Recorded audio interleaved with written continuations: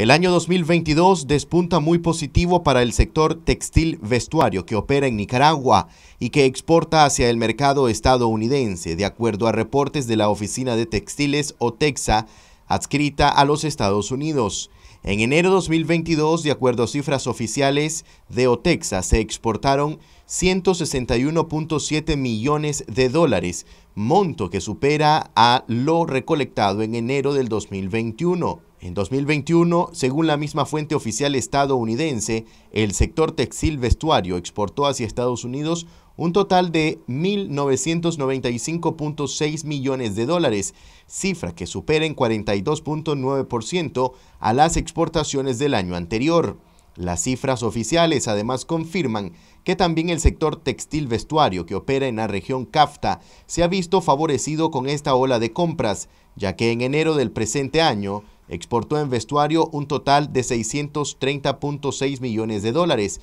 monto que representa un incremento del 23.6% respecto al año 2021. Desde la región CAFTA se exportaron hacia Estados Unidos mercaderías por un total de 8.642.4 millones de dólares, lo que también representa un incremento del 39.8%. En varias oportunidades, líderes y expertos del sector textil vestuario que opera en Nicaragua han apuntado que el incremento en las órdenes de compra está relacionado con el crecimiento de la economía estadounidense. En este sentido, el último reporte del Buró de Análisis Económico, VEA, del Departamento de Comercio de los Estados Unidos, confirma que en el último trimestre del 2021, la tasa interanual del PIB de ese país registró un incremento de 7%, muy por encima de la tasa interanual del 2.3% del tercer trimestre 2021.